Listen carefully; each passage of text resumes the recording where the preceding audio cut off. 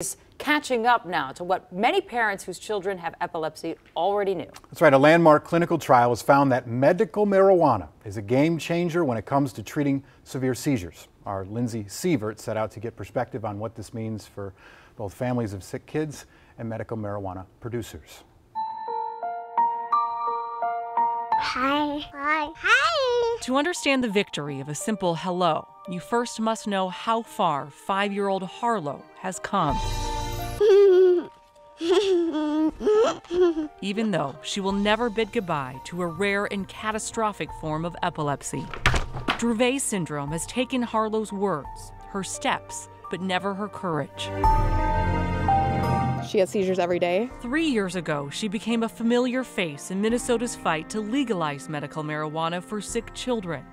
At the governor's doorstep, her mom, Beth Hundley, joined dozens of other families to petition the governor to change his position on medical marijuana. Those pleas from parents. The bill is passed as amended and its title agreed to. Became the Minnesota Medical Cannabis Registry. This is Harlow's medicine. For almost two years, Harlow has taken a marijuana derivative known as cannabidiol or CBD, given to kids in an oil. It's reduced her seizures from 50 to 80 percent. The difference between last year's school photo and this year's school photo, you, I mean, there's just incredible difference. Now, a breakthrough New England Journal of Medicine study confirms what the Hundleys already knew. In the first large scale trial of medical marijuana for epilepsy, researchers enrolled 120 kids with Dravet syndrome. After 14 weeks, patients taking CBD saw an almost 40% drop in seizure frequency, and three patients stopped seizures completely. Some of the children I care for were in wheelchairs, were barely able to open their eyes. Now they come in, they're walking, they're smiling.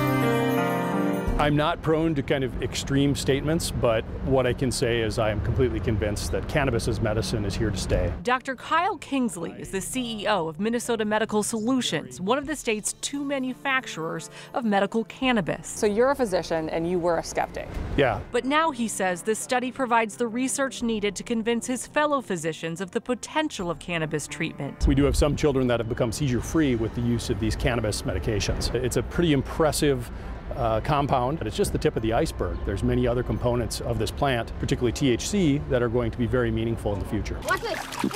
The biggest transformation for Harlow could be seen this past Mother's Day.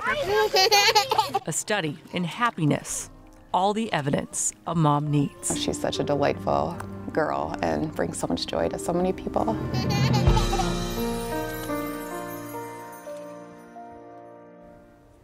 So for Harlow and a lot of these kids, prescription drugs just haven't worked. And the children in this study tried an average of four anti-epilepsy drugs each. The company that makes this CBD medicine called Epidiolex will now seek FDA approval in hopes to give more people access. As you guys know, some people have moved across the country to Colorado to get this medicine. Mm -hmm and it's, it's really a very difficult process and research is really hard because this is still considered a schedule one drug by the okay. DEA so a lot of restrictions still so when they apply for that FDA license does that surpass past the DEA or that's something different? I'm not sure how those agencies talk to each other and I think that's that's been what's been so slow. It, it just is so murky and yeah. right now the DEA just hasn't budged. So It's FDA probably probably too because it takes so long to get FDA approval. Might as well start the process now and hope that it gets legalized for the kids that need it. It's usually yeah, years. Hmm. Fantastic stuff, Lindsey. Yeah. Thank you so much Thank for you that. Guys. Appreciate, Appreciate it. it. Thanks a lot. Coming up next, a Minnesota mom is none